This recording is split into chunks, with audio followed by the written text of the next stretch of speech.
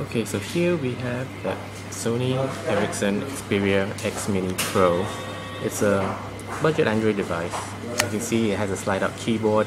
It's a small 3-inch screen, 480 by 320 HVGA resolution, and HD camera along with flash, 5 megapixels autofocus, as well as a front-facing camera. So this is not something you typically see on Android budget Android devices.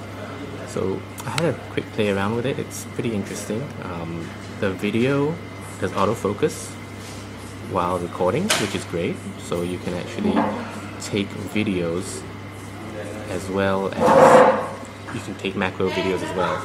So on the top here you have a shutter button, camera or shutter button, um, volume buttons, headphone jack, micro USB port, power buttons, nothing on the left hand side, nothing on the bottom, and just a camera with flash at the back. On the front, capacitive buttons, and a nice physical home button here. Um, as I mentioned before, there was a, I guess, at the proximity sensor as well as the the front-facing camera and the slide-out keyboard.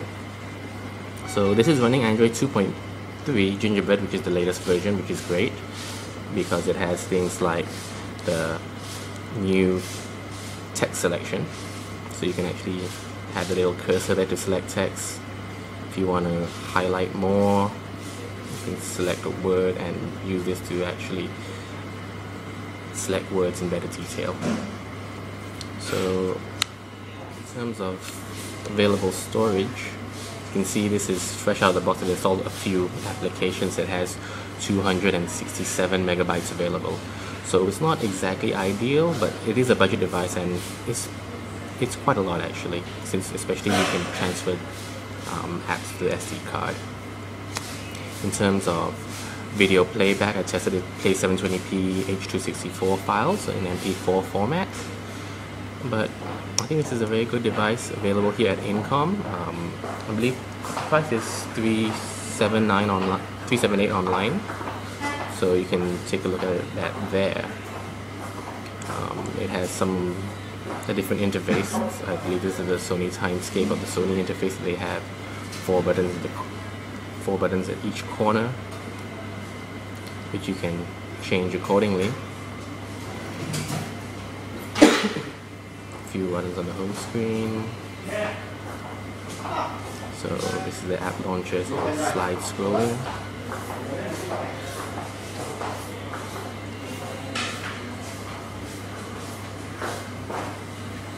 Take a look at the camera application. So as you can see here, it has the rear camera. So change it to video mode which records in HD video with autofocus. So if I was to start recording, you can record using a tap to focus. So I tap to record in the settings, touch capture, or you can just use the camera button on top here. So we can use that.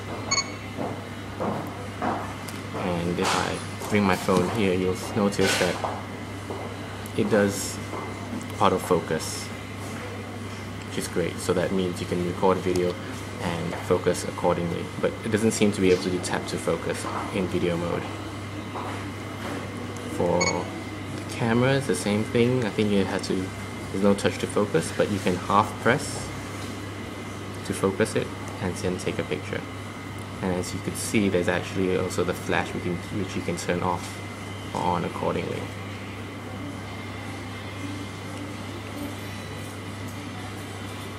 Obviously you also had a front facing camera.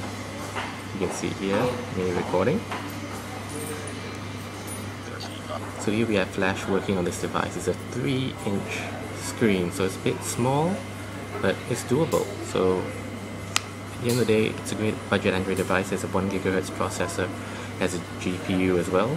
So you can play games 512 megabytes of RAM seemingly great 5 megapixel camera as well as a front facing camera ability to play 720p video slide up keyboard overall a great budget device by Sony Ericsson so you can get one here at Incomm for 378 online. I think three nine eight. Three nine eight is cash price or Uh, credit card price? Our showroom. Showroom price is two nine eight. You got this ticket, five percent. Five percent discount. Yes, card.